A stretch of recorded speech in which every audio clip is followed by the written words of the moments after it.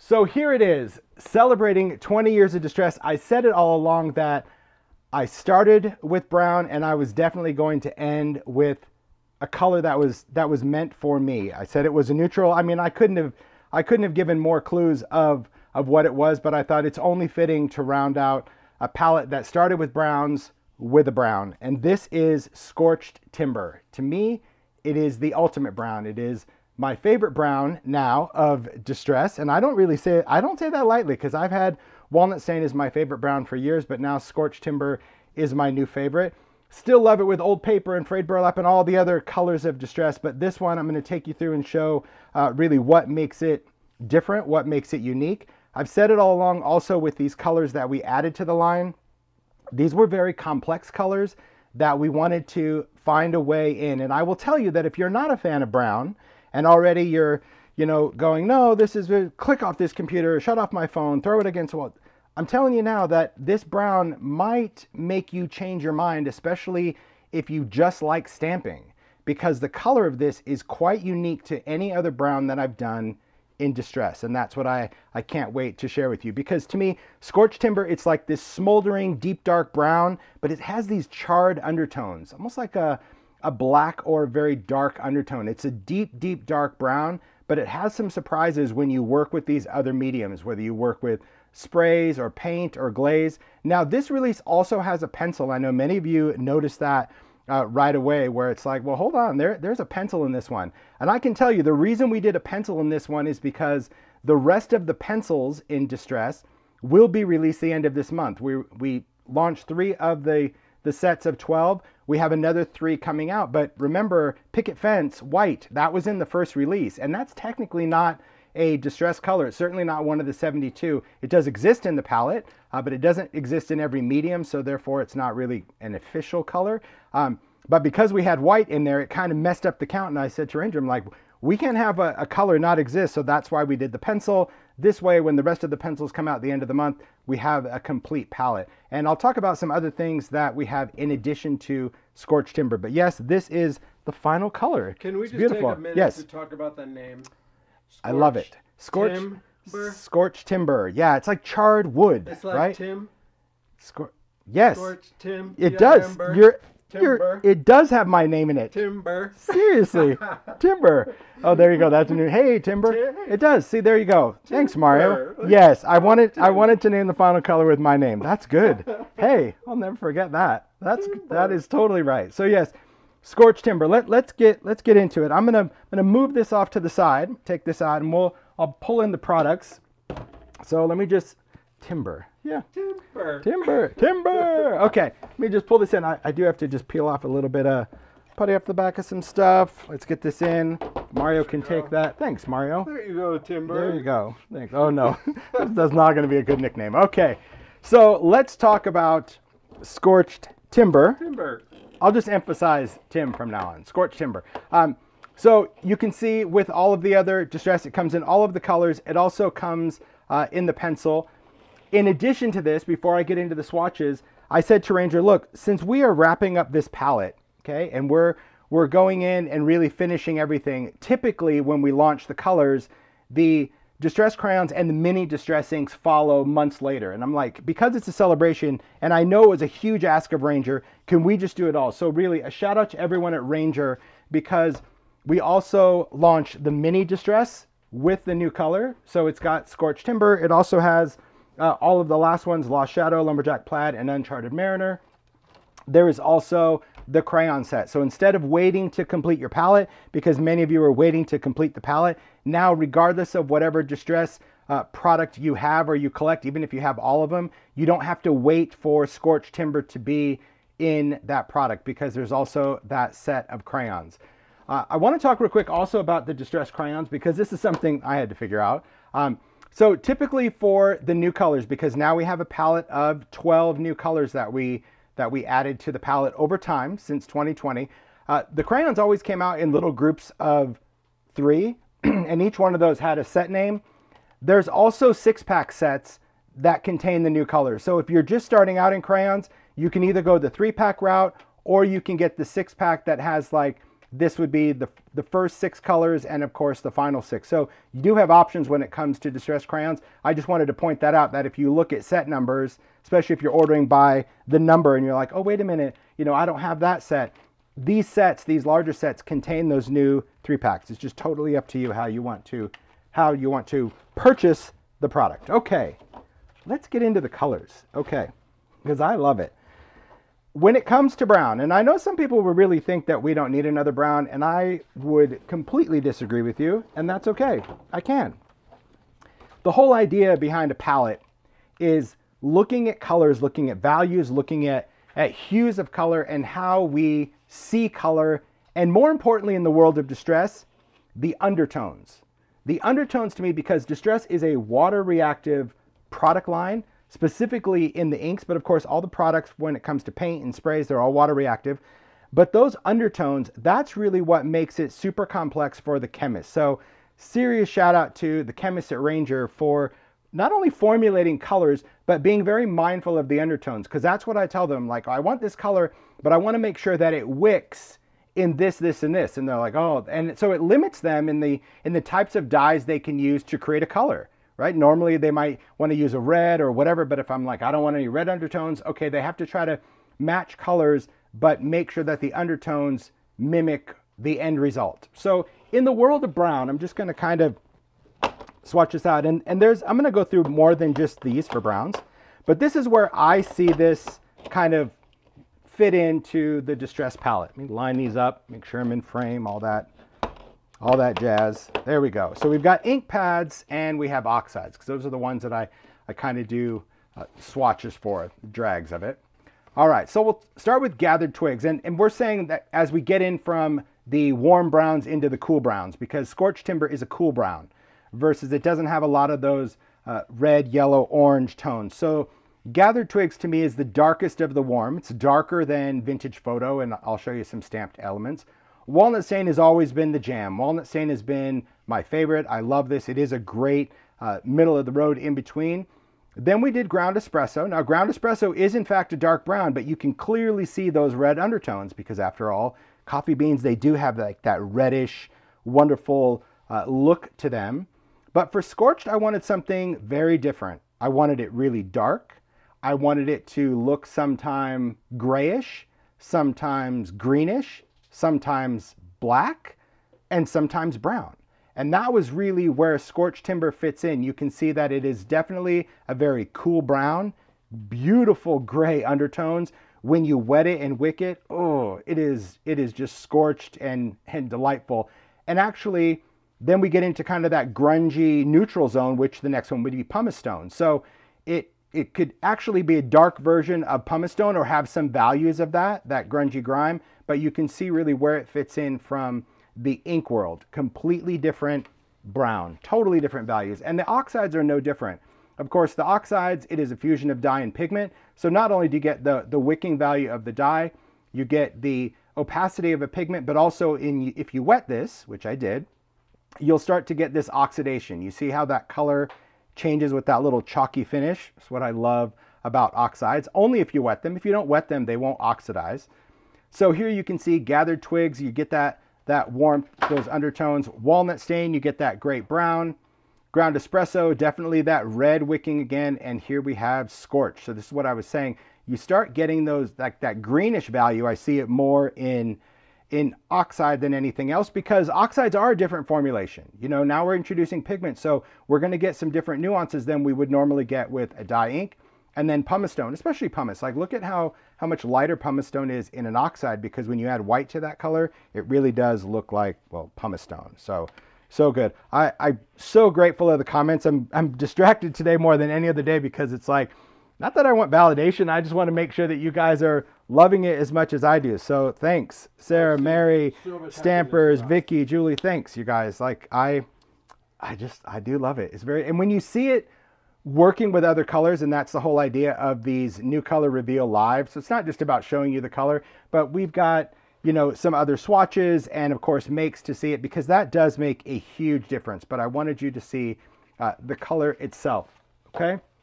Now, before I get into the swatch specifically of Scorched, I mentioned stamping because uh, yes, I'm a big background inker user, okay? But Distress and Oxide are stamping inks. They're not permanent inks, but they're great stamping inks. So I wanted to take you through kind of all the neutrals in the Distress line now that we have finished that with Scorched. And we'll start with the two lightest, pretty much favorites as well.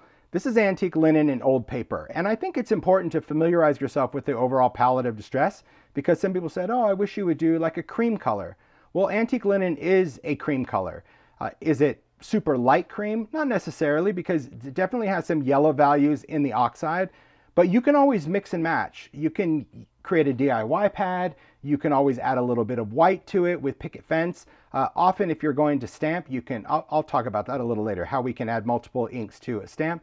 Old paper, I would still say that in all of the distress colors, as weird as that is, this would be my favorite. My favorite of all time. I don't know why.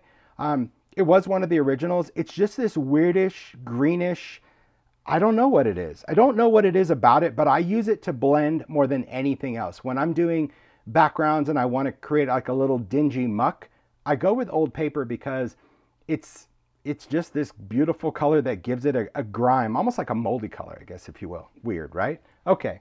Then I just went in and stamped. I stamped inks and I stamped oxides. You'll see the colors are very similar, but dyes are, of course, going to be more intense when it comes to stamping. This is just stamped on uh, white heavy stock just to show you the true color. So we go in and we start with tea dye. Tea dye is definitely very orange, very tea stained for a brown. I love that. It, I think it's really important to kind of remember the colors. Then we have vintage photo, and vintage photo you can see is definitely um, a, a, very like reddish brown. I'm sorry, this isn't. This is vintage photo. I'm like, that's not red. red. This is brush corduroy. I don't even know my colors. Uh, brush corduroy. Vintage photo, this is where you get the red, okay? That red in vintage photo is super important because it's, it's very sepia, very sepia tone. And then of course we have gathered twigs. Now, when you look at these warm browns, they all have different values in and of themselves. This one, brush corduroy, it's got a little bit more yellow in it, a little bit more yellow orange. As I mentioned, vintage photo, definitely a little bit more uh, red. Then we went to gathered twigs, we kind of darkened it up. And then we get into kind of the cooler browns. Frayed burlap, definitely uh, another great neutral, kind of a, a, dirty, dirty gray. Very similar to mushroom, I think, in alcohol ink is frayed burlap, in my opinion. Then we have walnut stain. So now when you compare walnut stain to vintage photo, you can see this is a, a very warm brown, this is very cool. Then we have the ground espresso. So that's dark, but still a little red value. So when you put it under there, you can start picking up that little red, especially different from this. And then we have scorch. And this is where scorch becomes really interesting because it kind of, when you, when you just compare it to browns, it looks almost black.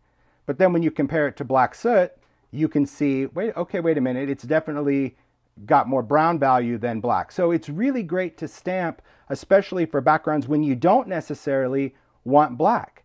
So maybe you're doing florals or maybe you're doing text or maybe you're doing background stamping that you want something really dark to show up, but you don't necessarily want it black because you want to be able to stamp a sentiment over it. This is where Scorched fits in. And then of course, these cool neutrals, we have uh, Pumice Stone, Lost Shadow, love that color, and Hickory Smoke. So now when you see like pumice stone compared to frayed burlap, very different. Frayed is definitely has more uh, brown value than pumice stone, which is more gray. And the same goes for the oxide.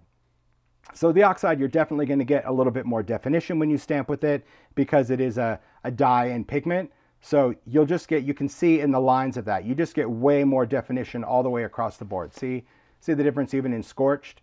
It's because a dye has a tendency to want to travel, but a dye and pigment keeps everything a lot more crisp.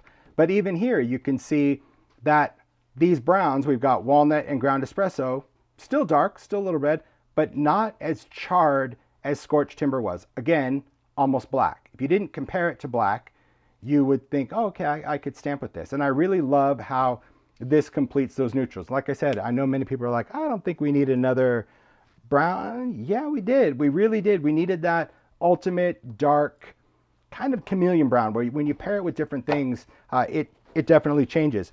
Even from a wicking value. Now, wicking is, like I said, the important part of how uh, distress really plays around. This is just scorched timber and just sprayed, but you can see it wicks in many, many unique ways. You get this black buildup, almost char-like, but then you also get kind of these smoky vibes, that whole scorch look where sometimes you might have a little glow where it looks kind of reddish for an ember, but it really has more of that green dark value. Blending. This is walnut stain. Like I said, this has been my go-to forever. And walnut stain, you're like, yeah, that, that's a really nice uh, dark, what we would consider a cool brown. This is walnut stain with a little bit of scorch blended on top and then splashed with water. See how it changed that? I'm still getting those great values of walnut stain, but scorched is something that, yes, you can use by itself, but just, just be aware if you use it by itself, it's dark. It's, it's meant to be dark. It's deep dark. But really the reason I wanted to have scorched is because I wanted to be able to add it to any other color. So instead of, whenever I wanted a dark value, instead of going in with black soot, which we know is incredibly powerful and just black, it, it dominates so many other colors, scorched timber is going to give us that really dark value, but still allow us to appreciate the color we started with.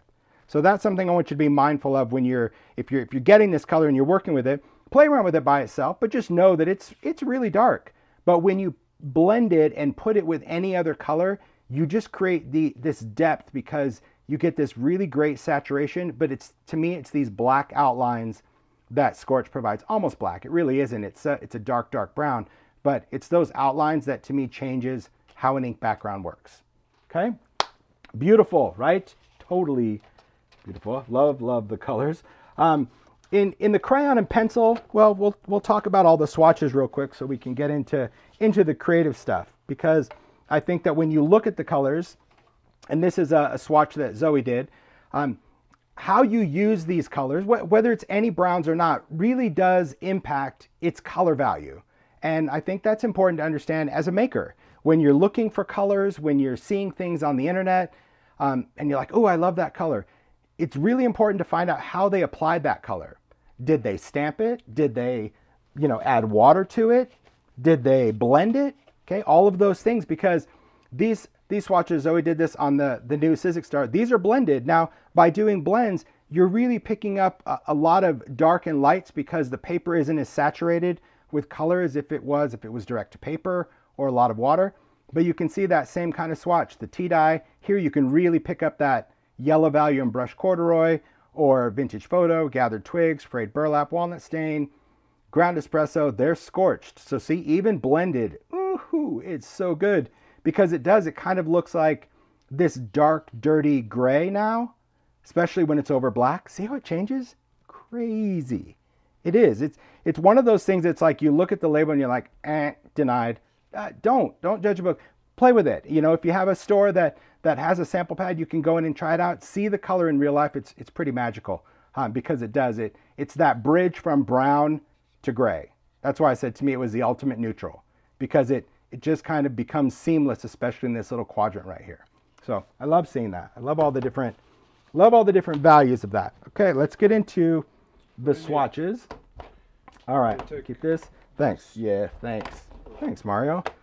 I'm gonna put this here. Let's get the other brown. I'll get distracted. You know me, I'll get this distracted with all the other ones. I'll set that over there. Okay, let's get into swatches. Super fun. My favorite. Okay, timber. so swatches, it really is about how the color plays based off the different mediums. And this is one of the things that adding the new color has been amazing because we've been able to not only add a color, but add a color in all the different mediums. And I love that. I love seeing that. So with Scorch Timber, we'll start with the ink pad. The type of paper you use also impacts the color, especially when you're working with dyes. Dyes are translucent. So this is Distress Watercolor Cardstock. The other is Distress Mixed Media Heavy Stock. So you can see one has a little bit uh, of an off-white color and one is completely white. And I, I like to do swatches. I've always done the swatches on both of those so you can see that. So this is just using the ink pads, smashing it down and layering it wet. So really you can appreciate the values of that color. This is blended just on watercolor. So there again with scorched, do you see what I mean? How you can get that ultimate char, but you can also get a really nice light, believe it or not, light dark value in the background, if that makes sense. So if you really are light-handed when you do a background, you can get some great uh, scorched look to the background. When you use it on mixed media, see how just changing the paper, how it does give it a little bit more of a warmer value, but you're still getting that scorched. But if you're ever trying to get a warmer value of a color, look at your cardstock. You know, go to Manila tags or mixed media because that paper really does, even from a blending perspective, change that value quite a bit. So it is important to, to be mindful of, of what kind of paper you're working on. Okay, so those are ink pads, again, wet and dry. Then we get into oxide. Now oxide, because it oxidizes, we're still gonna get those dark values, but we also get a little bit of a unique play because the oxidation softens everything, almost like a filter. Blends like a dream, so even with an oxide, we're getting those really dark values because this one is not wet. So that's why the blend looks darker than the wet because this is oxidized, it's got water. This, no water, so no oxidation, but look at that transition of color. Oof. Definitely much warmer on mixed media. You can see some yellow values because again, that's the paper picking that up, going through the dye. And then of course, uh, the blend. This is really interesting, the blend on this one. Like just how, how much warmer that scorched is, but still darker than uh, gathered twigs or really any of those other warm colors. Then the sprays. Now, if you play around with sprays, if you haven't played with sprays before, sprays are a fluid version of the ink pad. Okay, it's not it's not a re-inker per se, but it is a fluid version. So you have to think of an ink pad, and if you were wringing it out and you had all that color, so that's why when you place it down on paper, it is incredibly saturated. So with scorched, a little goes a long way. This one was sprayed and then just a little bit of water flicked on it so you can see how it models. I always say when you do some sprays, you may want to start with uh, a little bit of water first so you get more of this movement. Otherwise, you're going to get a really heavy saturation. Same thing on mixed media. Not much of a change, but a little bit, a little bit of a subtle change. This, I think you see more of the cooler values. Oxide spray, I should have the sprays in instead of ink pads. There we go. Uh, oxide spray, really cool, just how it oxidizes. Watercolor, mixed media. Yum. But see the oxidized version, crazy what it does. See, oxides always have this weird property. That frayed burlap kind of turns green. This one has this almost rusty value. It's wild. It is so wild how uh, the difference between a spray stain and an oxide spray. So see, sometimes when people see these, they're like, oh, a spray is a spray is a spray. I have this one, I don't need this one, or I have this, I don't need this. Well, that might be true, but you can see that the, the properties of that, the color is distinctly different. I like to use them both together because I get that really uh, charred look, but man, this has such a great rust value to it. I don't know if you can appreciate that. It's like a, a yellowy orange muck. It's very, very cool in an oxide spray. You would get that with the oxide pad too, but you have to add so many layers to kind of create that. Beautiful, right? So good, so good. And then we get into paint. Now, distress paint, of course, a water reactive paint. So cool if you just paint it on, but also great if you add water and marble. So these swatches, this shows it painted on, and like with any kind of paint, uh, keep in mind that distress paint does not contain any fillers. So many people kind of forget that, I think, when they're using distress paint on other substrates like maybe chipboard or wood. If you put distress paint on and you paint on a layer and you wipe it off, it is like a wood stain. Okay, it's not as fluid as a stain, but it is more fluid than a regular acrylic paint because it doesn't have the filler. So this is one layer of paint brushed on, wiped off. This is the same scorched, brushed on, dried, and brushed on again. So two coats of that paint. So it's really cool on that paint that you can get a really nice antiquing by painting it on, wiping it off, or just painting on, you get that great opacity. But when you wet it, this is what the paint does. And the cool thing about wetting paint, because you might be like, well, wait a minute, Captain Obvious, why do I need this watery paint if I've got the watery spray? This medium is permanent when dry. It's the only distressed medium that when you paint it on uh, and you put it onto any surface, whether that's wood or fabric or paper, um, it is permanent when dry, even metal. Okay, so by doing this, you can create this effect on a canvas or an art journal with paint. And once this dries, even though it looks like ink, you can stamp, you can add crayons, you can add pencils, you can do anything you want, and this will never re-wet because it's paint. So that's what's really cool about distress paints and water is you can create these cool effects and then you have a permanent layer to work on, especially from mixed media. Paint's not going to be much different on paper because paint is complete pigment. There is no dye in there. So Opacity is the same, but you still get a couple little values when you use it as, as a stain when you wipe it off. And then look at the background on that one. Ooh, mixed media is definitely more uh, water friendly. So I think the fluid movement on this paper, a little different than this one. You know, this one has a little uh, bumpity chunkities on there. So not, it's not really chunky, but these little bumps, these little uh, pits holds onto the paint. And this is totally smooth, smooth roadway. Beautiful, right? So good. So just imagine that because it kind of looks like like a tree bark. So taking a canvas and just doing paint and and water and letting it dry, it just looks like this piece of wood, but it's really canvas. It's so good. All right. Then we have the glaze. So the embossing glaze is translucent. Now, because this is a dark color, it is translucent, but you're going to have to make sure that whatever you put underneath it, if you're trying to get layers to show, is also very intense, right? Like black ink, because otherwise, if you don't, it's going to cover it up. But you can still get some great layers, and you're going to see from the makes uh, how cool glaze is on cards. But this is an embossing powder, but it is translucent, it's not opaque. And that is why on these two papers, you can see the color difference because it's translucent. So on white, we're seeing that true color value. And on mixed media, we're seeing those warm values. So that's a fun thing of embossing glaze. Um, even if you're doing standard card embossing, not just you know doing a background, but literally embossing a sentiment, a lot of times you can get an embossing powder to match your project better with a glaze than an opaque powder because an opaque powder is just going to be, say, that red or that pink. But if you use a pink glaze on your pink cardstock, it will still show up and coordinate with your cardstock. So don't forget that. It's not just about mixed media techniques. It's really uh, a great embossing powder for all things. Then we have the crayon and the pencil. Now, because these are both pigment and both water reactive, you know, the color values, I try to balance whether I'm trying to match the ink pad or the oxide. So you can see right here, like, oh, these don't even match each other. Well, no, not really, but this is more oxide-ish. Remember I said it has kind of those rusty values, so that's what I chose to do for the crayon. For the pencil, I went more for the ink. So when I when I work with both of these two products, I like to try to balance, do I want it to look more like the ink pad or the oxide? Doesn't mean all crayons match oxide and all pencils match ink. It's just whatever I see and obviously whatever the factory can, uh, can match. So that's very cool to know on, on both of these products, you're gonna get a different color element. And then I just paired up uh, just some swatches. I don't need, that's just the crayon one.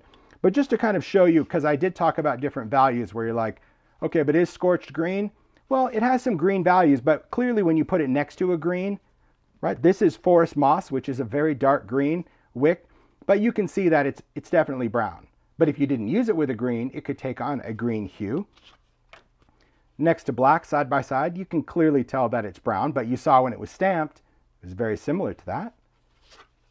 And then for gray, where you're like, oh, it's kind of a gray. Well, it is, but when you put it right next to a gray, it's still going to read as a brown. So that's the importance to, to understand as we go into the makes, that the makers use scorched timber, but it's going to look so different from make to make because of the colors that maybe they paired it with or put it next to. Okay? So, did I do okay, Mario? I'm trying to get through so much information because I have so much to talk about. But, okay. That's good. I try. All right, move this out of the way. Now you can you can kind of hear I'm moving everything, right? Yeah.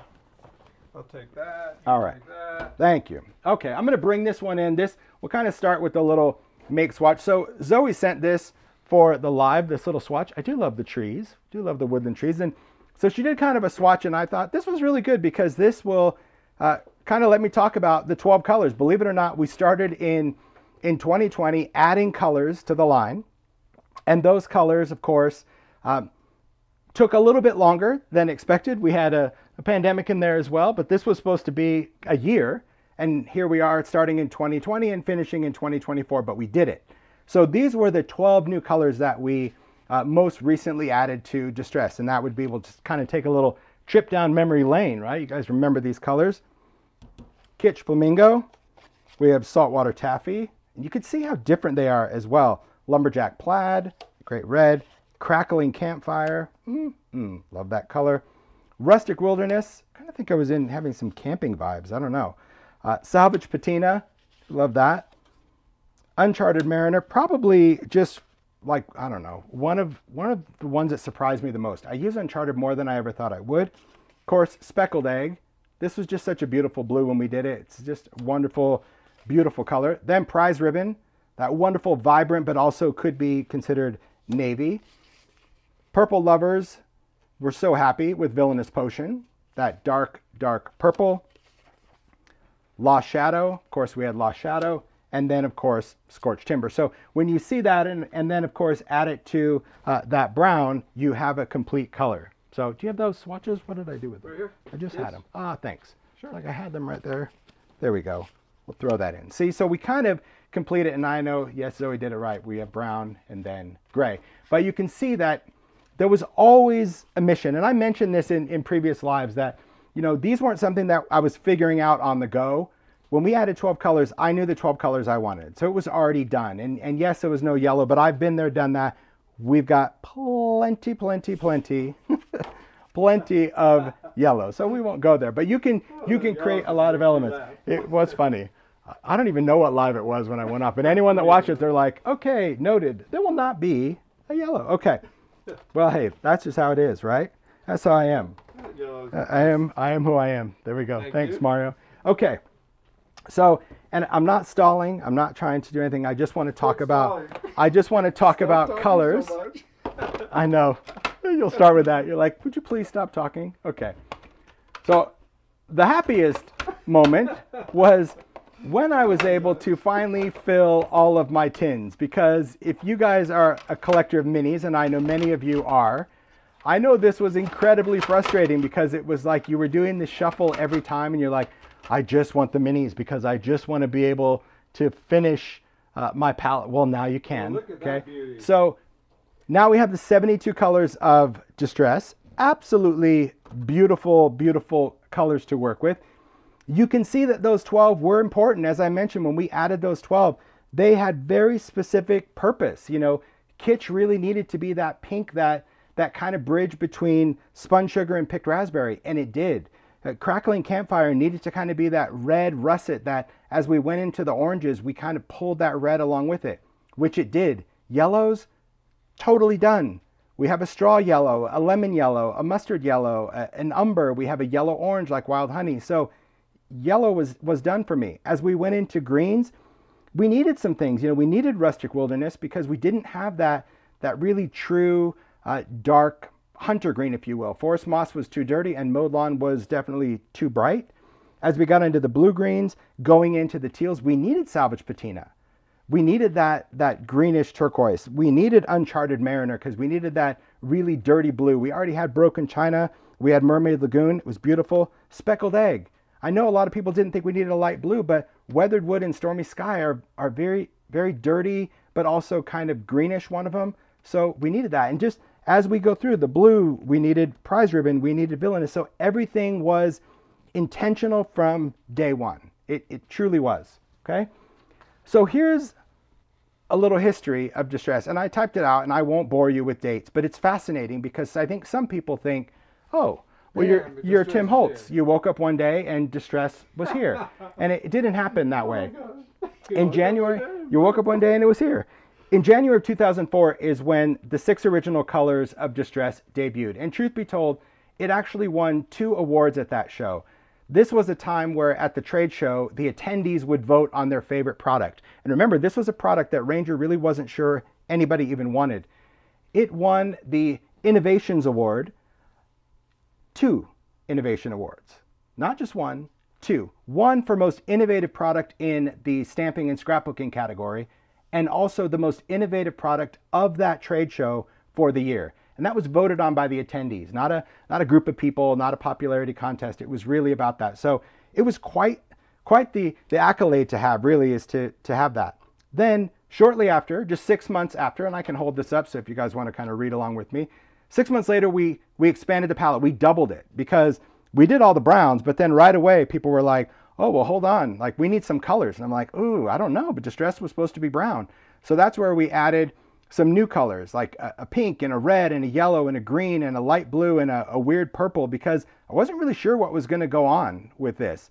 But clearly, we understood it. We were using it for tinting photos, all of that. So a year later, doubled that. It was like Ranger was on board. We were moving and grooving. We're like, okay, so by uh, October of 2005, we decided to add 12 new colors, just boom. Now, this was a time, of course, that we really only had Distress ink pads, not all this other stuff that we have today. So we were focusing only on ink pads. We didn't have paint and spray and crayons and pencils and glazes, and we didn't even have oxide, just focusing on ink. And then we were content. People were content. We were using 24 colors forever. Five years, in fact. We didn't have a new color for five years. And five years later, we did some new distress colors. Five we added, years. I know, it's like a, really, it's, I mean, just think that's a long time. but in those five years, we added some other things. I Oh, mean, so so so in there, like we had paint, we did embossing patterns, we were playing around with things. But yeah, it was a five year, not much of anything. And then we added 12 new colors. And those 12 colors, that's where we started really playing. We knew what distress was, we knew what people were were using it for, and this is where we got really creative with those colors. The the bundled sage and crushed olive and forest moss and tumbled glass. And it's very cool to add those. That was in 2010. Then this year was the year that everyone at Ranger remembers. This was a year that I'm like, wouldn't it be fun if we did Distress Ink in seasonal colors? Little three pack of just ink pads, no reinkers, mind you. Okay, these were just ink pads. They were sold in a stack of three, and we launched them each season. We did uh, a launch in spring, in summer. We actually started with fall though, so we kind of went backwards. We started with a fall release that was ripe persimmon, seedless, and gathered. Then we added festive berries, iced spruce, evergreen bough at Christmas. Then peacock feathers, squeezed lemonade, shaded lilac in spring. And then picked raspberry, mowed lawn, and salty ocean. Now think about this. These colors were never to exist in the distress line. Never. How crazy is that? Like that to me is is something that I, I think it's really hard to to fathom because and it wasn't because we were trying to create this this frenzy or whatever in the marketplace. We honestly felt that at this point, 36 colors, everyone was completely happy with it. Now at this point, think about this. We were also only halfway through the palette that it is today in 2010. We're halfway through. So these seasonal colors early on, like Ranger was bombarded where people were like, absolutely not. I want re-inkers. You can't make these one and done. And so with, within that moment, Ranger's like, okay, they're going to be part of the line. So it was great. So, you know, you guys, the voice really does matter. It won't matter now if you say that you want more than 72 because I'm happy with the palette of 72. But at this point, we added those colors. Then we were set for another three years. And then this is the year that kind of changed the dynamics for the final part of Distress. This is where, at this point, Distress had built up. We had sprays, we had other mediums. And I said to, to Ranger, I'd love to add some new colors. I'd love to do one a month, but would you would you please consider doing it in more than just the ink pad? Because by now we also had uh, just some other products. We had like I think markers. Yeah, markers came out at this point. Those came out in 2012. But still, at this point when we were working with this, as crazy as this seems, we still did not have oxide, right? We're still just talking about distress ink and sprays. No oxide. We had no oxide at all. So we added these colors. It was a one a month thing, very much like what you guys have been seeing for the new color, but it was very regimented. It was every single month there was a new color. The stores had it. It was the same surprise idea. We didn't have pins or anything at that point. And then after we did that, we were happy with it. And I was like, wouldn't it be cool if we could do a white? I know everybody wants a white distress ink. And that's where the chemist is like, there is no such thing as a white dye. Let's let's educate you. White is a pigment. It's like chalk. So you can't see through chalk. So you can't see through white. You can make a watered down version of a pigment. So it has a little bit of translucency, but it can't be, there's no white dyes. I'm like, okay, then let's just add picket fence distress ink. And that's why it's a distress ink. There was no oxide. Okay. It was just ink. But this, because they were able to put this white, creamy, almost chalky like ink in a distress pad, it sparked my idea for oxide. And that is when I said to Ranger, wouldn't it be cool if we took picket fence, the, the ink that you put in here, and added it to a color of distress and make this like part dye, part pigment ink pad? And like, oh, it's weird. Yeah, I agree. It would be would be weird. Let's call it an oxide. Oh, that's a terrible name. No one's gonna like it. It sounds toxic. I'm like, it sounds cool and intriguing. So in 2017, we released oxide, and that's where this kind of five-year stint uh, another break. So the last new color, if you think about it, was 2015. Then we started adding oxides and oxide sprays and archivals and glaze and mica stain. So much stuff happened in these five years. But from the palette, we kick back up in 2020, right? Five years after we did that whole run of colors. and that's where we brought it today to 2024 for the final colors. So from 2004, it really was a 20 year journey of building this palette. And each thing was sometimes accidental, like on the seasonal colors, and other times very mindful of bringing colors uh, in a way based on how you guys use it. So uh, it's really humbling to kind of look at that timeline and be like, wow, we've come such a long way with distress. And distress sparked other ideas, So right? a lot of people would uh, like you to post the timeline on your blog when you post. Sure, yeah, I'll do that. that? Yeah, if, if that interests you, I see. I mean, like a lot. And here I thought that'd be the boring history lesson. No, people, All right. it's, I'm reading it so much. Well, thank you guys. This is going to be a blast from the past. Distress along the way Who that guy? sparked, yeah. Who that guy right there? I don't know. I like from Rascal Flatts. It's like a TV Yeah. uh, food channel. Yeah. Oh, Guy Fieri? Oh my gosh. I said Rascal Flatts, you thought Guy Fieri. You were Guy Fieri before Guy Fieri? Could be. Could be the frosted tips. So this this was when I did a collaboration with a book company called Design Originals. They did craft books back in the day when I worked at Ben Franklin, um, and they just did so so many amazing kind of books. But this is where Distress was really taking off. These books came out in 2005, one year, mind you, after Distress was launched. Right? Distress was so unique to people that it needed education, and Design Originals like we need to do a whole book on distress. But in order to do that, I wanted other little elements. So I designed papers for them. I mean, you could see in here like just how old school some of these supplies were, but uh, designed little little papers called distressables and doodads. We did little little papers. This is we didn't have idea-ology back then, so there wasn't any of this stuff. This was me just finding junk and using it like mint tins. But you can look at a lot of this product and see it in idea-ology today. How crazy is that, right? To kind of look at these elements and be like, oh my gosh, there's a product today. We had pocket watches. My little niece Martika, look at that. So long ago and filling bottle caps. I mean, anything that we could do uh, with product, working on dominoes. And it was just really, really surreal to create education. We did beeswax collage, which sparked two books about using distressables. And I mean, here, this is when I clearly had my funk on, where, you know, doing, doing jewelry, a ruler book, it's when I did stuff for a company called Junkitz, collage, right? So many beautiful, beautiful elements. We had just great, great fun. And you'd see a lot of this stuff, again, kind of spun into into idea-ology. Really Oh wild. my gosh, I but yeah, saw that picture in the, which one? that one in front of my dad's office. There's Mario. At him. Whoa, way back then. Oh my gosh, who Yeah. guy? I know it's crazy, right? It's just when you see this stuff. I mean, yeah, when it was like customizing your craft tools with wood blocks and paper, just fun, fun ideas. But see, I would say like creativity is it is timeless. It truly, truly is. So we did the books, and then we had like cardstock. We did distressable uh, cardstock with coordination. That was like 2011, and most recently, and then honestly, I'm going to get on to the makes, but. This was, I, I think, the final uh, creativation that I went to where we did a distress challenge, and I made this piece. And you may have seen it. We've done like uh, some That great, so some great charity pieces. This isn't the one that uh, the original one, because this is just one that I did. You'll see why I did it. Um, but the original ones we've auctioned off for some great charities for that art piece. But I loved seeing distress colors block like this. It was really uh, quite clever. And this sparked the latest distress collab with a fabric company. So, uh, Free Spirit Fabrics that does all of my fabrics for eclectic elements. This one was actually launched in October.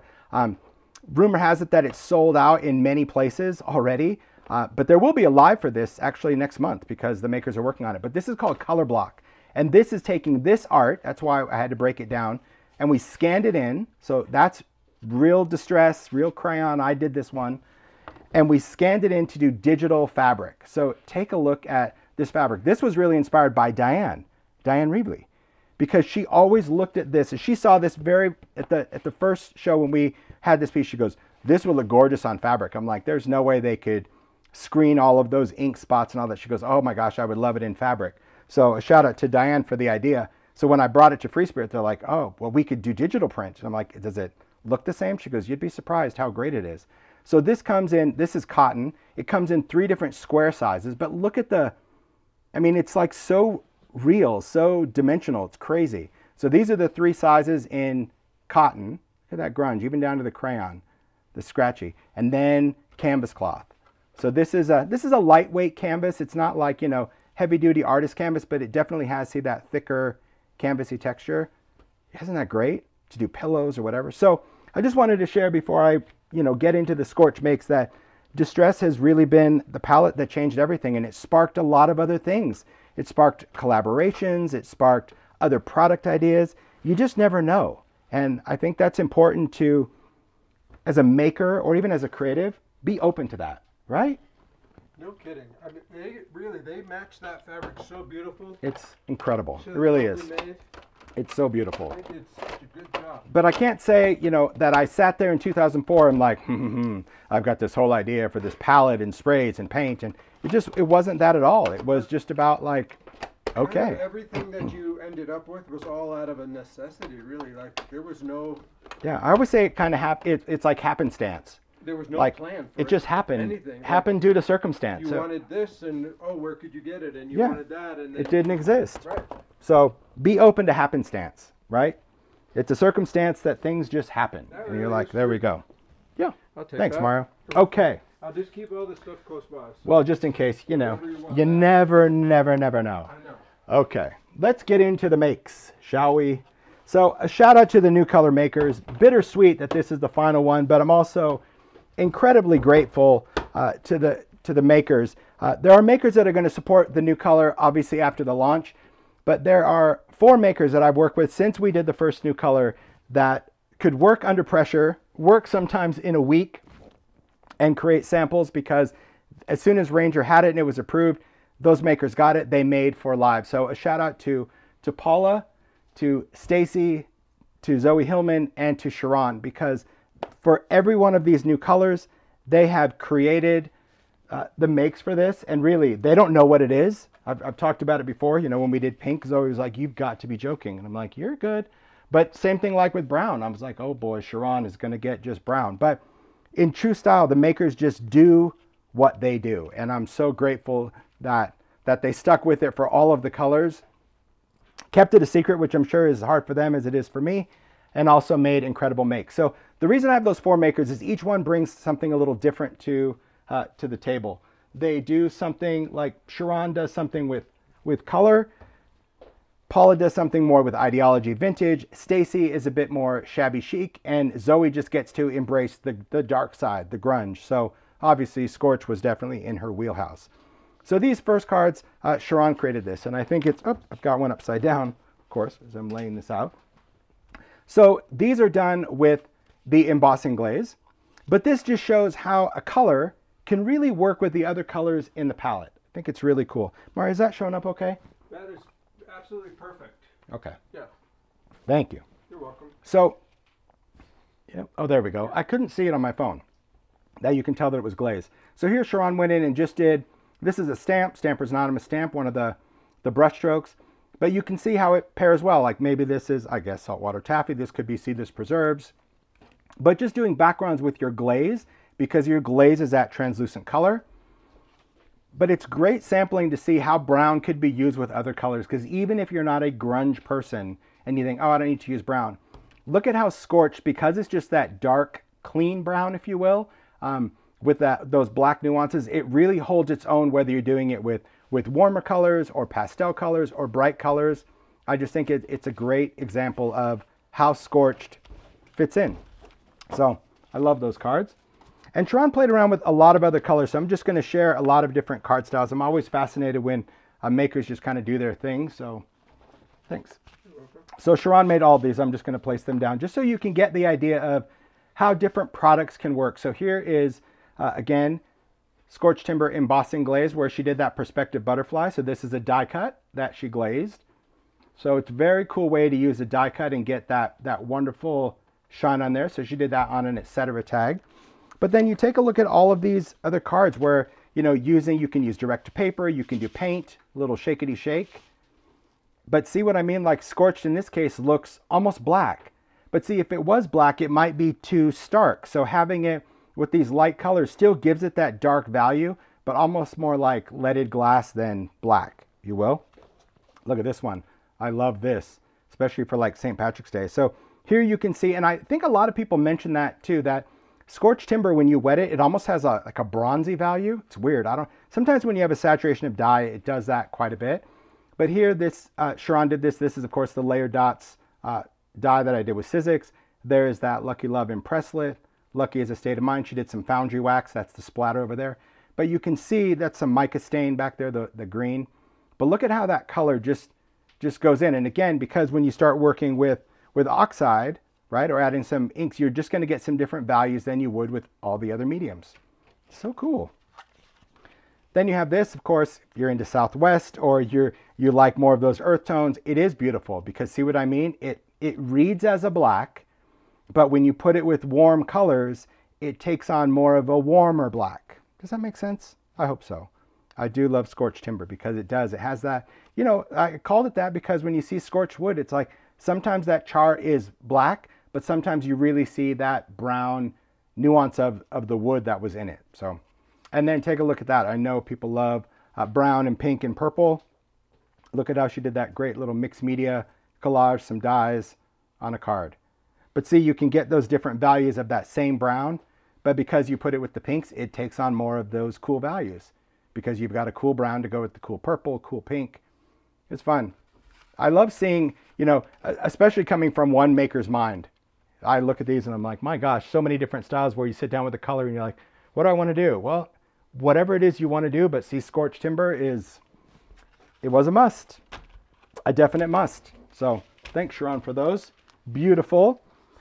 Then of course, Zoe, there's no doubt that Zoe probably just was sitting at her table just clapping with glee because, you know, it's brown. and brown is good. Although I've learned, and you'll see from a make, it's not Zoe's number one brown, but that's all right. It's still a brown, it's still a favorite. We can all have our favorites.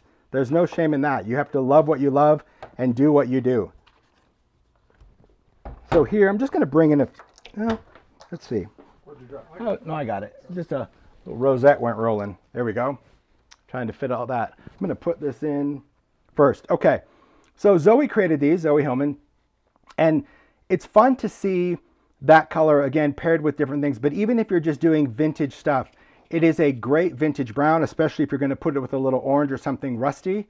You can see how it holds its own against rust because you're getting not only the brown, but you're getting those, those charred undertones of the scorched timber when you stamp with it and blend with it, you see what I mean? How you can you can place that down into a, a, background and do watercolor because it's dark enough to hold the line art, but then you can also put it on top and it still holds its own. It almost reads as a black, but it it isn't.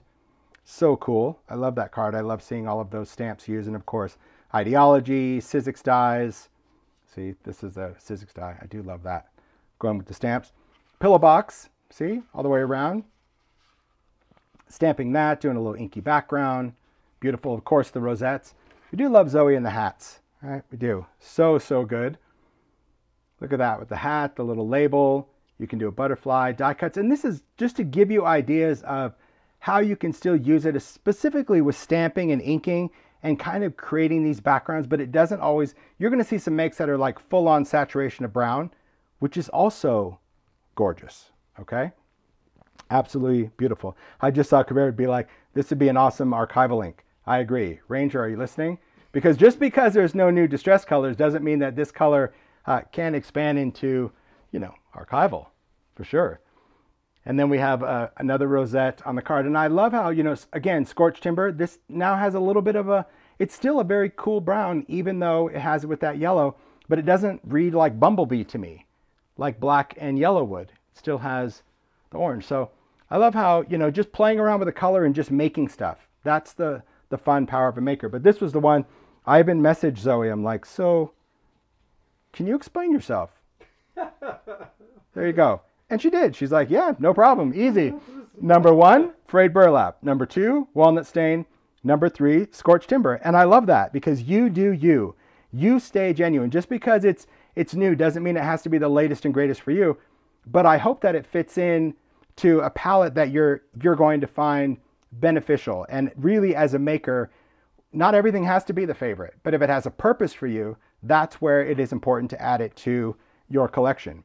But in doing so, she's like, I love how it tarnished that plastic trophy cup. I love how it worked on idea-ology. I love how it became a really uh, dominant look over uh, the blue and the yellow. And then she even has like little stained ribbon. So it did create a very cool, authentic scorched color over the top of this. But I love how just Zoe's keeping it real. That's it. See, her number three, it's now, I would have to say it's my number one brown, but still old paper will probably always, always reign the top. But I love that. I love seeing how you can use the rosettes even in different ways, cards, embellishments, um, and also put into, this is just an idea-ology frame panel. It could be a shadow box. But great, because you can read uh, how those colors impact different things. So much fun. So much fun. All right, let me throw these back in. Great to see, isn't it? It's all about the inspiration, guys. It truly is. It's all about the inspiration. Okay.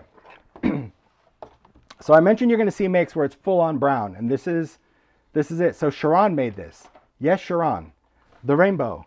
She did this. But look at how beautiful this is because here she worked with distress, threw in some oxide, and paired it with gold metallic embossing powder. So look at how elegant that is.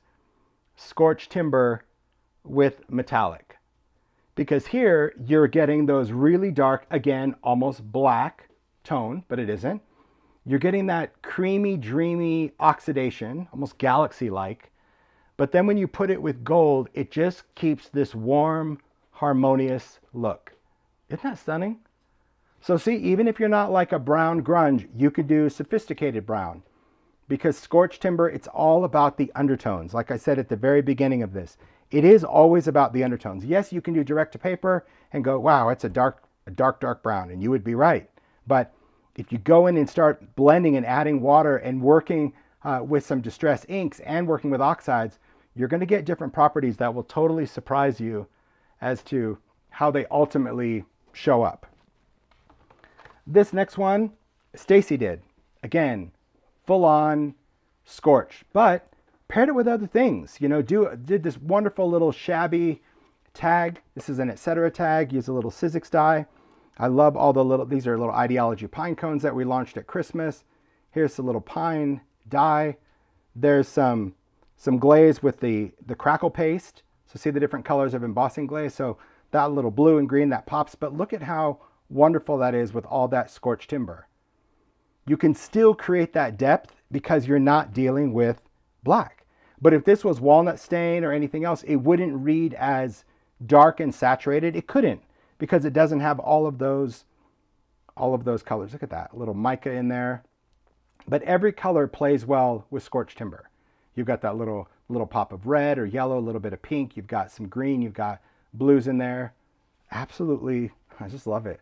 I love seeing really the the colors that you can throw in. Paula created this one. This is a vignette tray idea-ology. And again, look at how stunning that is. That background. I love how she has, it looks like a little, looks like a little foundry wax back there.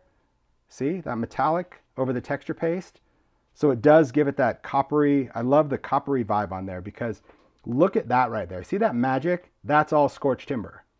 Just water, water, adding and creating these beautiful backgrounds. And then Paula did this whole little vignette, idea-ology, uh, baseboard window. We've got the little bird, little branch, a little bit of uh, vintage buttons and some lace. But how beautiful.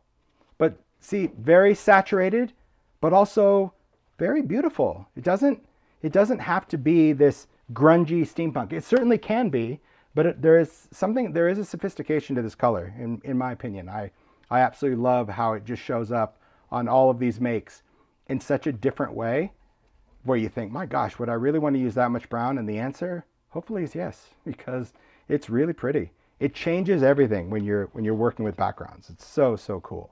Okay. Then we're going to get into kind of more botanical looking things. Okay, because it does it has a softer side. It's it's beautiful with flowers, I think. So Zoe created these as well, a little pillow box, a little bag. But see how she just put on that tiny little flower? That's from the the wreath, I just love that little pop of, of yellow. So you can still do a color palette that you like, like Zoe still did her palette, but you can definitely add a, a little bit of yellow or a softer thing of, of a floral element or a heart. I love this die.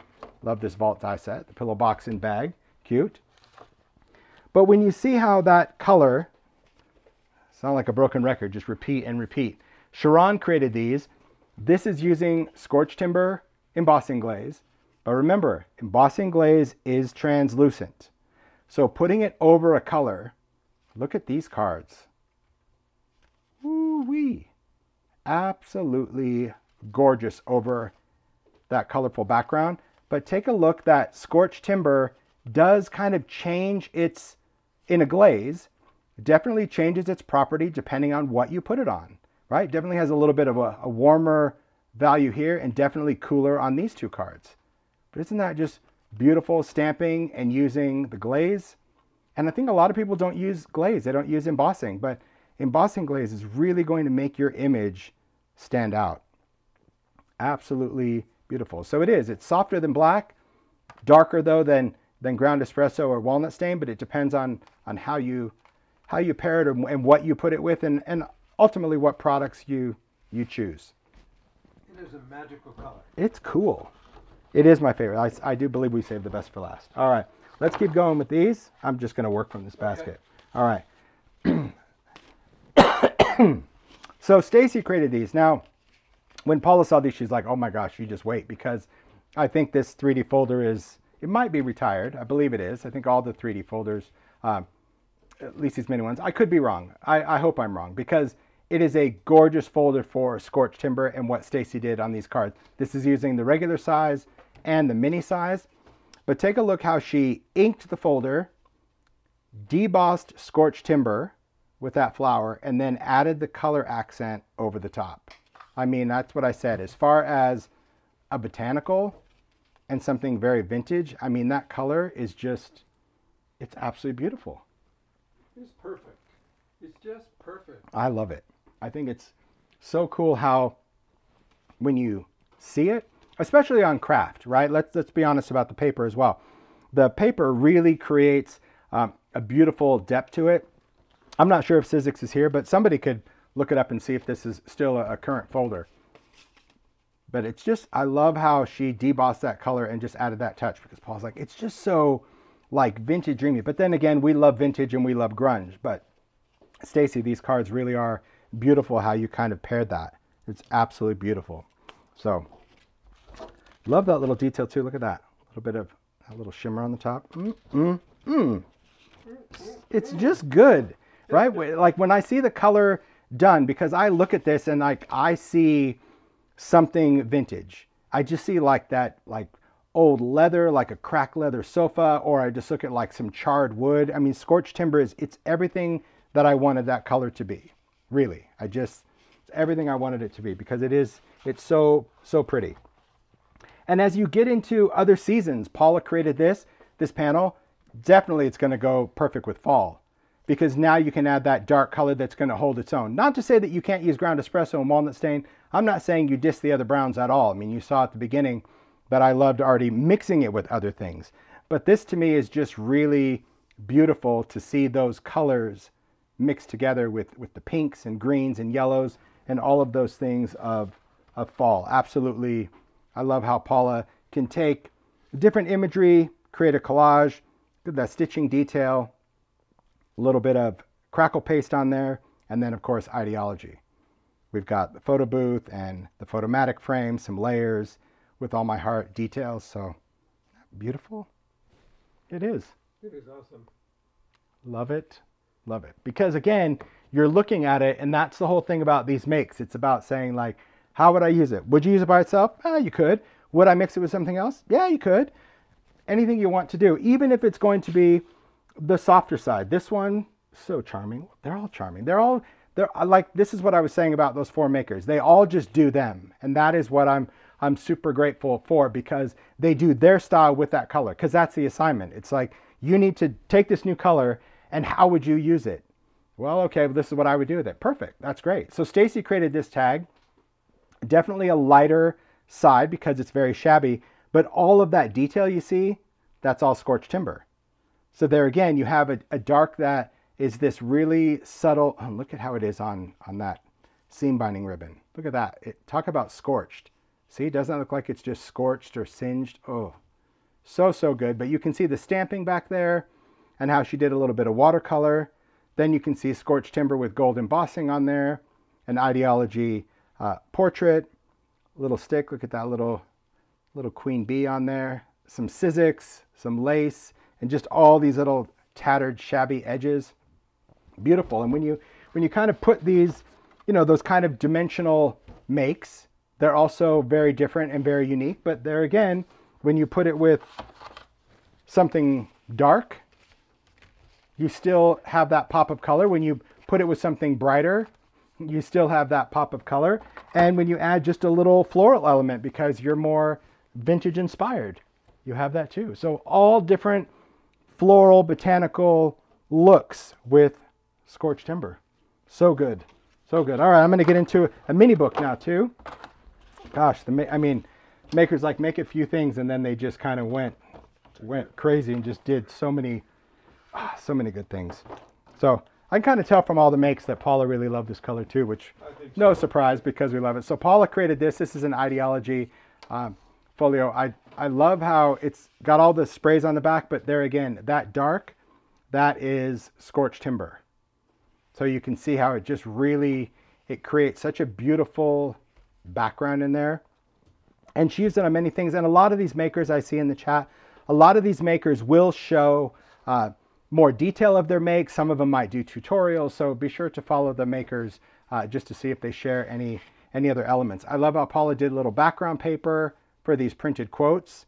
You know, print these on vellum and then stitch them uh, onto these cards. But this is just a little Stampers Anonymous stamp. See that background stamp? But really nice, great dark, deep color on those tags in there. She even went in and, and stamped that, that linen tape that she's using kind of for these seams these little pieces, great color to, to grunge and antique, but look at that. Hello, hello, beautiful. See that? Gray, green, brown, black, I don't know. It's all scorched timber. Mm, mm, mm. Oh, good one. That's a great idea-ology paper to pair it with.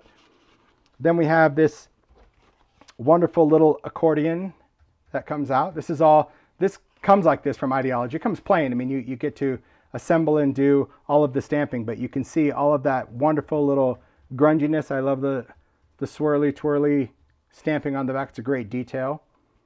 But look at how Scorch not only is great for stamping, but any of those other little details, any of the inking that she added to it, if you're adding it to layers or idea-ology ephemera, crazy, right? It lets every color just do its thing. It lets every element, whether whether it's got greens in it, whether it's botanicals um, or organic elements. It really lets that piece shine. So pretty. The details. I know Paul loves doing books, just like layer and stitch and yeah. And like I said, um, the other makers will all get the color as well. It just shipped from Ranger when it launches because, well, we only get a few at first, but I can't wait to see what, what all the other makers do. But I did save one one more make. It's also a Paula make, but I said, please make something grungy. Grungy, delicious, me. It's so good. Look at that. Okay. That just Let's just appreciate that grunge. So this is a, a vignette display panel. She she painted it. So that's the normal color of this, but look at how scorched timber looks on that wood. Do you see what I mean? You're still looking it's still the wood, so this is the original wood color. It's definitely more warm, and look at how scorched timber just makes it look scorched, charred, when you paint that on. Because of that translucentness of the paint, putting it on and wiping that off, oh my gosh. It just looks like scorched wood. But then we have all of these uh, tiles. So these are the etc. tiles from Stampers Anonymous, and I love how Paula went in and did just inky background. See how it's really going to be good with rust because it holds its own for that. We've got the embossing glaze where you can create that resist, whether it's typography or wood grain. And I love how she created that background panel and then just taking idea-ology goodness. Some baseboard windows, little photomatic, the, the baseboard. I love the, the quotes on there. Then we've got some ephemera. But you see, this is where it's like that rusty, grungy. It is a, it is a great mixer. That is what I would suggest is that if you're if you're just a stamper, then just stamp with it because that will make you happy. But if you're doing backgrounds, I honestly encourage you to use scorched timber with other colors because that is to me where the magic happens. Can you use it by itself? Yes, you've seen those makes where you can just do a background like Sharon did on that card. It's great, but it's when you add scorched timber with other colors, it's going to surprise you with any of the colors. Whether you do it with salvage patina, uncharted mariner, even a pink or, or a yellow or an orange or a purple, it just has this crazy ability to be, become a chameleon. It can be very, very dark, very scorched, but it can also create this grungy wash without overpowering the color like blackwood and without turning the color a warm value like ground espresso would. So that's really what scorched timber is is all about. It's just absolutely, absolutely beautiful. All right. So we're going to talk about some other things. So again, thank you makers for making. Thanks, Mario. I just want to talk about some just some other things real quick, just to kind of show you. Just gotta you know gotta do a little demo. It's not a, it's not a huge wow wow demo, but I just want to just show you the properties because it is interesting what this color does when you work with it. So I think it's important for me to to point it out. So I'm going to take travel mat. It's very nice. Uh, I'm going to just remove this one. Very nice that we have this. This launch, it's been a busy, busy start to the year. We had the Sizzix launch, then this was a tonic one I think we did beginning of this week. This is the, the travel media surface mat. Many of you asked for it and I'm really glad because to be honest, I wanted both sizes as well. So just use a little squeegee. I don't mind a few air bubbles because it doesn't stay on here forever, but I just use my little, my little Amazon squeegee. Okay. Okay, so here's what I wanted to, to share with you about, about this color. When you go to use it, especially if it's just going to be an ink pad, to show you. And I'll swipe this onto the paper. That's just direct to paper. This is watercolor cardstock. See how dark that is? Okay. When I wet this, because distress reacts with water, it will start to do its thing. It's going to start to wick and do its thing. But what's interesting is when it first starts, it looks very red. And I know this because as I was testing, I'm like, oh my gosh, this is wrong, wrong, wrong, wrong. It looks like espresso. But what's crazy is how it dries. So you can let it air dry, but I'm just going to use a heat tool. And as it's drying, I'm just going to add some other drips of water because I want it to, I want to create some bigger, bigger drips, bigger variation, but I just want to show how different it's going to look when it's dry. And it does look totally different. Because see right now where it's wet, see how red that is? Don't freak your freak, because I did. I was like, no way. Okay. Just to dry that. It's the drying. You can really see the distinct difference of where it's dry and where it's still wet. Isn't that crazy? It's so weird how this color starts out thinking, okay, wait a minute. Uh, this is this is red. No way. And it, and heat is, has nothing to do with it. I'm just speeding up the the drying time. If it air dried, it would still air dry the same. You can leave it. I'm just going to use a, a little cloth because I want to dab some of this off to get that light value under there too. Because see right now it reads where it's wet, it reads really pink, but you'll see when it dries. It goes to that wonderful scorched. oh my gosh. It is magic. It's, it's so. Look at that. You see what I mean? It is just good. All of this little, it's this, this magic bit. So could you just stamp with this? Like let's say you stamped a, a crackle or a flower and then spray it, it would wick just like that. But obviously your image would be blurry, but it's just, it's absolutely beautiful that it goes from that crazy, weird, reddish color to this, well, this scorched look. It's absolutely cool. And if you didn't want to go direct, maybe you were just going to do a background, we can take some of the ink and we can take the ink and we can uh, mix it with a little bit of oxide. So I'll just take both just going to smash some to uh, that. Just add a little bit of water. This is the benefit of having just a larger surface. If you don't have the surface mat, you can still work on that, that little piece that, that comes with it. Do the same thing. Just going to do watercolor. I'm going to work on the smooth side of the watercolor just to kind of pick this up. Now, if I went into this ink, it is going to transfer exactly how it is. I don't want that. So I just want to break it up. To me, see how I've got water droplets here, but not much there? I want to, there you go. I want droplets. Droplets are what's going to get the magic, but I'm just going to take my fingers and just drag through it once. Just wipe them off. If you wipe off the ink quickly, it doesn't stain your hands. longer you let ink sit somewhere, the longer it stains. So if you just wipe stuff off, you're good. Now I'm able to just kind of go in and play in the ink. So I'll just do a couple of little, little taps here and then we'll dry it. So the difference is this allowed my ink to go on a little bit lighter at first than this one. This was direct to paper, remember, this one's just going on a little bit lighter. But this also has some oxide, so I'm gonna get some of that, that cool rusty value, but by dragging my fingers through it, that's what's going to keep from creating a really dark spot when you tap your paper down the first time. Okay. There we are. And I'm just moving it just because I want some of that movement. Because see, scorched timber definitely has this outline ability because of those dark colors. So play around with that. I'm not going to dry this crispy. I'm just going to dry it a little bit and I'm going to go back in for another layer and I'm going to dry again. Because as I always say, wet on wet blends, wet on dry layers. Meaning if I just kept going and going and going, it would just blend it all together to muck. But if I dry it in between, it will actually layer the colors. So there again, just don't be afraid to move your paper. You know, just get those drips to, to create a little bit more variation for you. But you'll see, isn't that crazy? It, it looks so red. Oh, it's going to dry so good. Beautiful, beautiful. Yeah, I would imagine that people can just, I saw a comment scorching this own class. I would imagine people that teach could just go in and show scorched timber used with so many different things in different mediums. So now you can see I'm playing with the drip. So I've never cleaned up the mat. And some people get uh, in, in quite a rush where they just go in and kind of wipe this off and go in and wipe this off.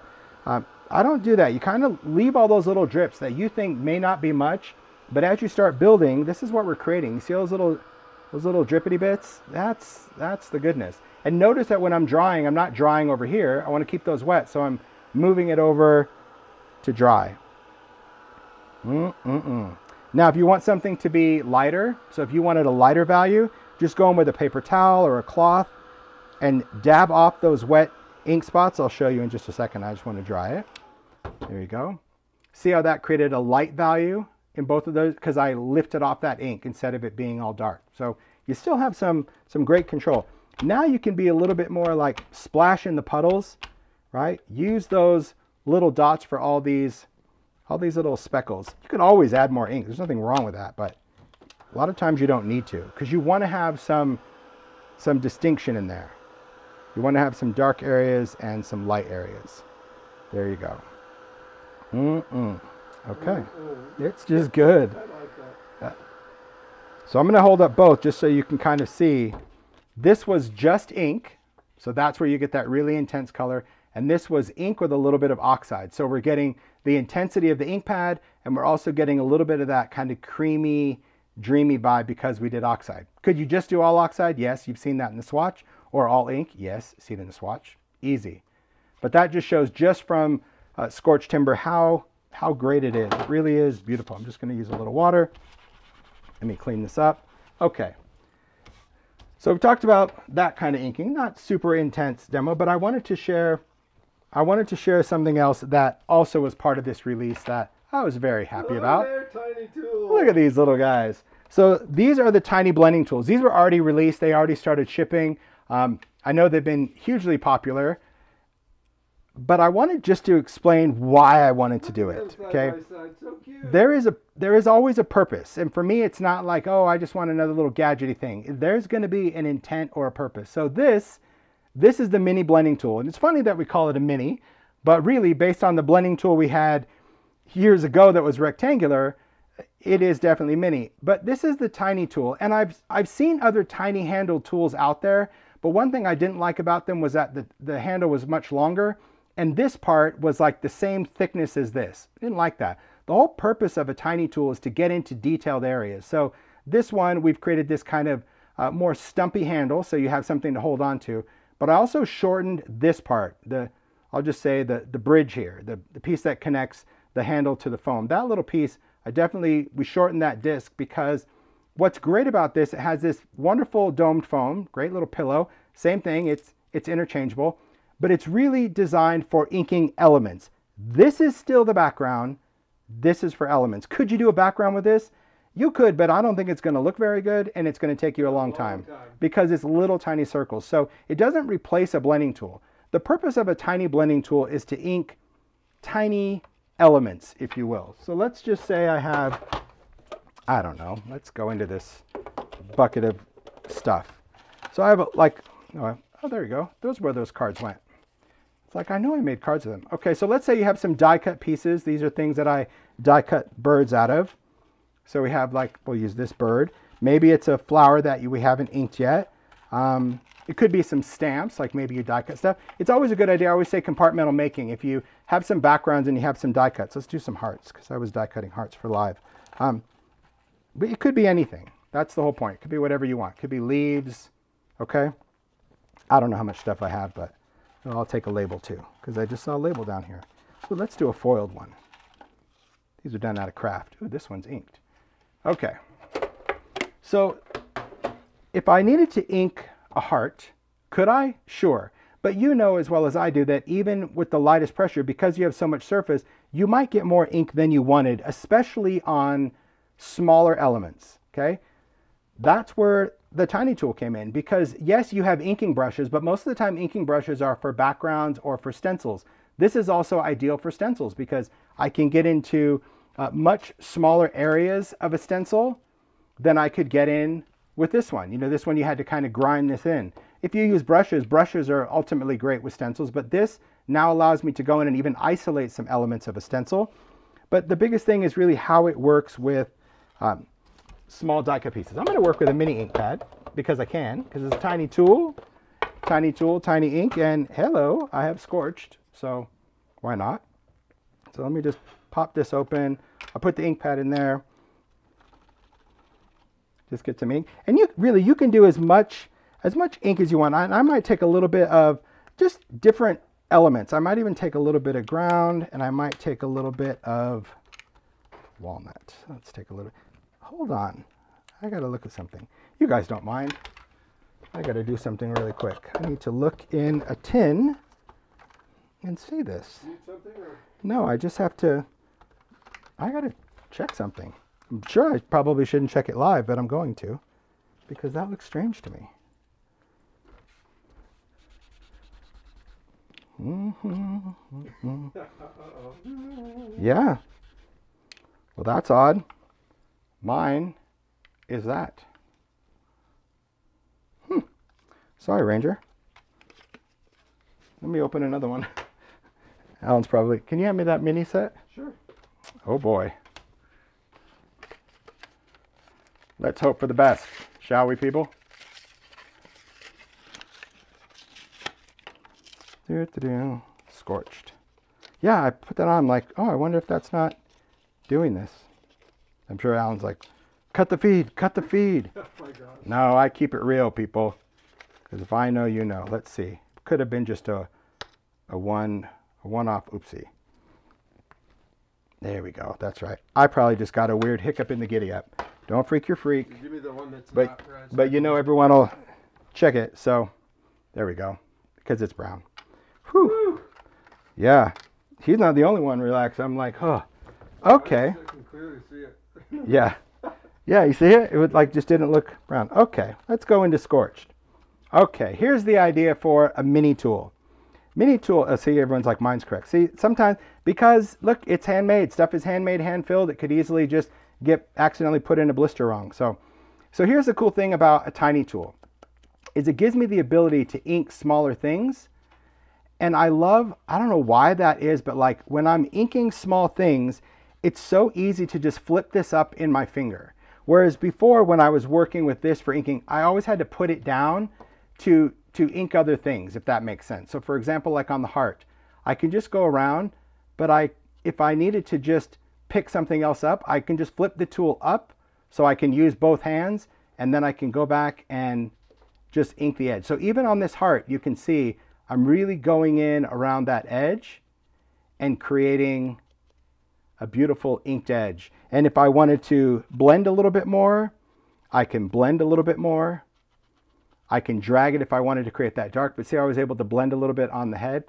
But yeah, I love that. I love that I can just ink and flip and ink and flip and ink and flip. Okay, so let's talk about how I would use this maybe with colors. Okay, because you can use it with colors. I like to ink the edges of brown specifically. It's it's fun, but you can also make some other little elements. So let me just share what I did. You know me, I am one that it's like if I have something, I want to have it set up the way I'm going to use it the most. Okay. And the way I like to use things, I like to, to have a set set up for me. So I have created my own little set of mini blenders. Too cool. Mario's like, what makes you think of these? I'm like, necessity, really. Uh, because there's not going to be a, a, storage tin for this, but this is how many uh, mini blending tools I need 11 because this is my 12th, which is brown, and this stays out. This just goes into my, I have like a little caddy drawer that this is what I have all of my tools in, and I'm just always going to have the brown one because I'm going to use it, I don't know, 90% of the time. So I don't want it in the storage tin. So it's got 11 in here and then this little tray of felt. So how I set this up, these, nothing holds this. This is a mini distress ink storage tin. This is the same tin that holds the mini inks that comes with this little insert. I got rid of the insert. I took the tools. You can see that I've got six at the bottom. Then I just put five going the other way. A couple of reasons. One, interlocking the handles keeps everything from flying around. But two, I don't get ink on the other one when I'm storing it. And then this little tray, because it, it would create a gap otherwise, all I did was take the tiny foam in the packaging, took my scissors and literally cut with my scissors. I'm, i suppose you can go with a knife if you're good with that, but I just took my scissors, cut right along that seam. Then it took my foam as, as a tray, and I literally just attached this. You are the MacGyver. Hey, I, you got to do it. So you got to do what you got to do. I just stuck this in with a strip of double stick tape right into the middle of the tin. Because as I'm working with it, you can just work with all the colors. Because I have one for pink, red, orange, yellow, green, teal or turquoise, blue, purple, light brown, dark brown, and like a neutral gray. So like antique linen, a dark brown, and then of course I have my darkest brown. So I would say warm and cool. But this way, when, when I'm working, I can just play around with them. And then when I'm done, it's very easy just to, in my opinion, just reorganize them because you just drop it in between all you have to do is drop it in there and then it's done because this little thing, for whatever reason, just kind of keeps them in there. That is the cutest thing ever. So that's what I did on mine. But but my point on that is let's say we wanted to ink like a flower. I'm gonna I'm gonna have some mini inks off to the side. You can work a couple of different ways. My suggestion, if you know you're going to be inking in multiple colors, is use multiple colors. So use your palette for what it is. So maybe we want to do a little bit of yellow, a little wild honey, and you could go onto the glass or the media mat. It doesn't really matter um, how you want to do it. It just depends on the colors that you want to do. Then we'll take a little bit of green, a little bit of some peeled paint. That's a little bit of forest moss. Um, then I think I'll do, I'll do a little scorched timber.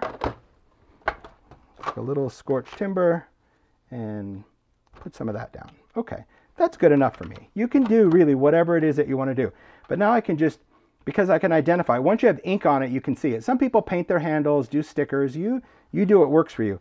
But this is a way that you can use little bits of, of colors and blend them together without doing it on your ink pad. You can do it on your ink pad, but this way it just allows me to go in and see again, I just move this out of the way. It's, it's weird. I do it now in habit because I've used these tools for a long time now before we launched them. But I just love the fact that I can kind of look and see what it is that I want to do. And I don't have to worry about moving this and getting ink on things. It's just my movement, I guess. Strange, isn't it? I think it's kind of strange. All right. Then let's do, I'm going to do a little bit of brown. I'm going to take a little scorched. And now for this, because I can go right into the middle of that, I'm just going to take that little tiny tool. Just do that little blend in the middle. Perfect. So I got a little bit of little bit of schmutz on there. I'm going to go in and just do some little heavy inking on the edges. You'll see why in a second. Just going to pounce that down. Okay.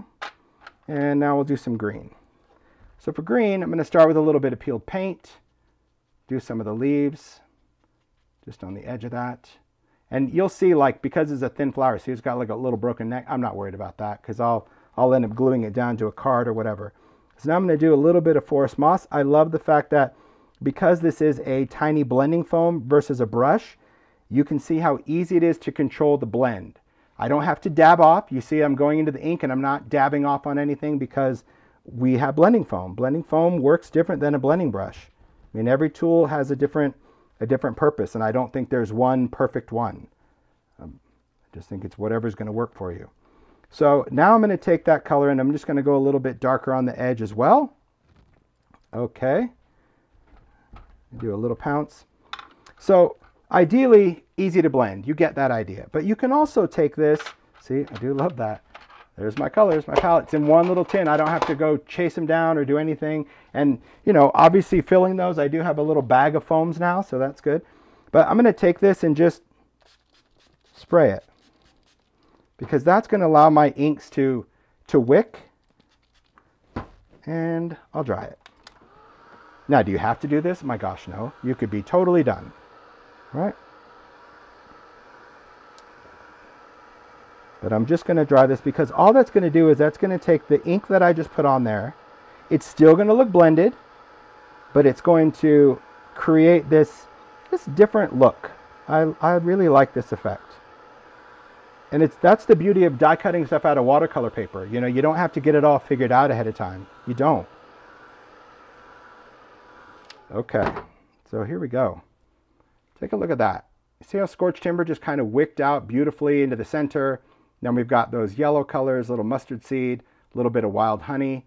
And then you can see even how our greens just mottled and blended beautifully. Little peeled paint and forest moss. That's why it's nice to have a couple of different color values when you're when you're inking because then when you add that water you will get that beautiful mix and it's super easy could you have gone in and did this with a brush and do, yes but i'm not good like that with a brush right to me brush you have to be very uh, meticulous you know you want to paint those little petals here i know how to ink blend and so that's where these tiny blending tools have changed especially when i work with die cuts and stencils because things that i couldn't ink before. Not that I couldn't, but I wouldn't bother inking because I'm like, I don't have time for that. I would just kind of leave it. Or when I would try to ink a lot of pieces for, for packaging, I would have to recut it because I would try to use, I'd try to be as light-handed as possible and then boom, covered half of that with, with brown. But this just allows so much more control, especially for inking. So that's really the purpose of the tiny blending tools. Still to do blending, but do it a couple of different ways, okay? Creating it on, on this side, or of course, uh, creating your own little custom set. Cute though, isn't it? Yeah, it was this tray that figured it out because before they were rolling around and that was driving me crazy. I'm like, oh, I need to build a divider. And I'm like, eh. And then it just so happens that when I cut that packaging, I have replacements with me anyway. So if I needed to switch it out or these are so tiny that I don't, I don't think I would need a set for ink and a set for oxide.